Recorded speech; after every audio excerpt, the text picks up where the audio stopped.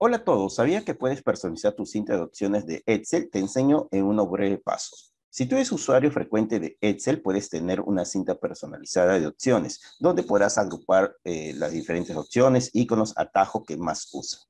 Lo primero que tienes que hacer es irnos acá a la barra o la opción que dice personalizar barra de herramientas acceso rápido, Luego vamos a ir a la opción más comandos y nos sale esta ventana para irnos a personalizar cinta de opciones.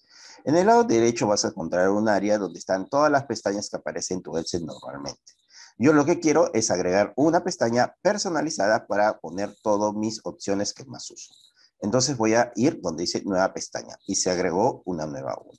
Ahora a este le voy a cambiar nombre con el nombre que quieres personalizar. Lo voy a clic derecho, lo voy a ir a cambiar nombre y voy a poner mi nombre. Voy a poner, por ejemplo, Manolo y ya está personalizado. Acá donde dice grupo van a aparecer los, todos los grupos que vas, va a aparecer dentro de tu pestaña. Por ejemplo, lo voy a dar clic derecho y acá le voy a ir cambiar nombre y acá le puedes coger el icono que gusta, por ejemplo, este icono rectángulo azul, y le voy a poner acá, por ejemplo, eh, fórmulas, ¿no? Voy a poner fórmulas y le voy a dar aceptar. Entonces, es ese tema de fórmula. Y ahora, al lado derecho, está todas las cosas que yo necesito tener eh, dentro de ello. Por ejemplo, puedo dar por el formato condicional, si gusta, lo, lo, voy a arrastrar ahí, ¿no? Y ya está dentro de fórmula. Puedo escoger todas las opciones que tú gusta, por ejemplo, pegado especial, lo voy a jalar ahí. Eh, puedo ir otros eh, calculadora, lo jalo de esta manera, ¿ya? Y ahí lo voy a agregar. Si quiero agregar otra, otra opción, puedo agregar y puedo este, insertar otro grupo más. Por ejemplo, voy a poner nuevo grupo dentro de este grupo personalizado. Y voy a irme, por ejemplo, a comando que más o menos usamos, ¿no? Y puedo darle, por ejemplo, este acercar y lo voy a colocar en ese grupo.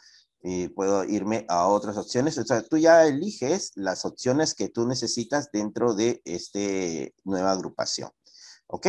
Yo estoy jalando ahorita algunos y voy a jalar, en este caso, cambiar el nombre, porque no lo había cambiado, le voy a dar eh, cambiar nombre, y lo poner, por ejemplo, eh, opciones, así lo voy a llamar.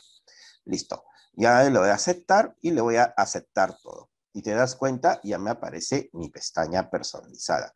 Y mi pestaña personalizada sale las agrupaciones que tengo. Entonces ahora, si tú eres usuario muy frecuente de Excel y usas más uno que otro comando o unas opciones, tú puedes tener acá agrupado según tu necesidad para que tengas todo más fácil y accesible y no estar revisando todas las pestañas en el momento que tú calcules. Espero que te sirva el video, suscríbete a mi canal y nos vemos. Saludos.